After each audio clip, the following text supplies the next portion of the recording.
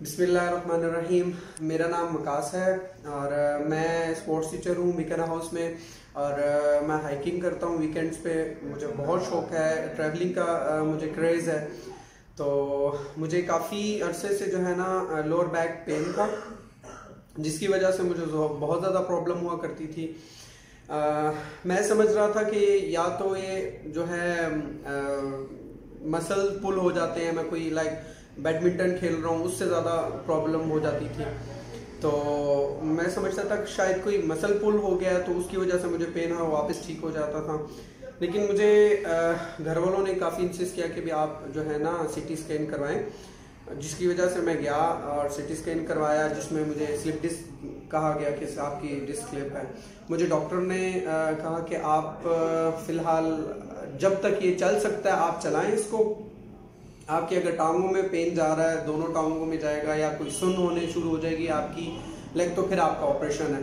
तो मैं तो ऑपरेशन के बिल्कुल हक में था नहीं और ना मैं करवाना चाह रहा था। तो मुझे जैसा कि मुझे पता चला कि आमिर भाई हैं इनका इदारा है यहाँ पे सिविल लाइंस में सीपीटी के नाम से कायरोप्रैक्टिक हैं।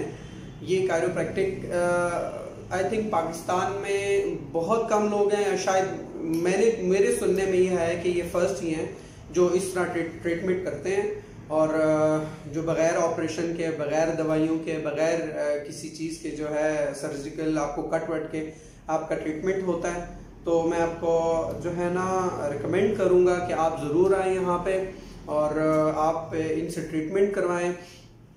फ़र्ज़ करो, अगर किसी को जोड़ों में दर्द है घुटनों में दर्द है कमर का पेन है, ठीक है मसल्स पुल हुए हैं, इनको ये ठीक करते हैं मैं तो बहुत अलहमदिल्ला बहुत सेटिस्फाइड हूँ और मैं आपको भी रिकमेंड करूँगा कि आप ज़रूर आएँ और यहाँ से जो है ना अपना ट्रीटमेंट करवाएँ। Thank you